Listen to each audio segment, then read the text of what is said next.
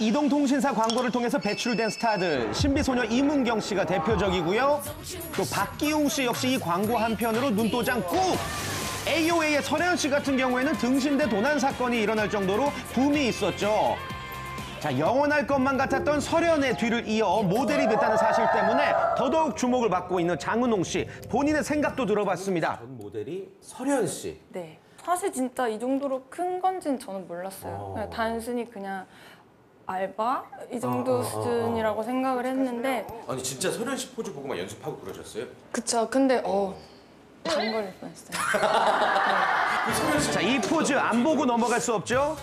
이 쉽지 않은 포즈인데 잘합니다. 관련된 정보를 찾으려고 이제 검색을 해도 네. 안 나와요.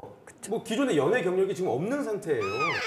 자, 메이크업 도구 이게 힌트입니다.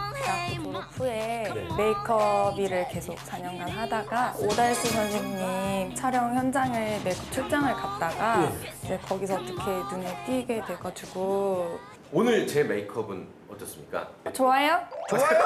영원 좀 싫어요? 영혼이 없네요. 자, 평범한 20대에서 최고의 CF 스타가 된 신데렐라 장은홍, 장은홍, 장은홍. 대중들이 그녀를 주목하는 신선하고 이유가 뭘까요? 잘 모르는 사람이기 때문에 신비로운 거죠. 통신사 광고는 보통 당대 최고 톱스타만 하는 거라고 생각을 하고 있었는데 이 일반인이 잘 모르는 사람이니까 그거 자체가 하나의 신비주의 효과 이런 것들이 생기고 그 사람이 누구냐에 대한 어떤 궁금증이 증폭되면서 이게 사회적으로 이슈가 되는 거죠.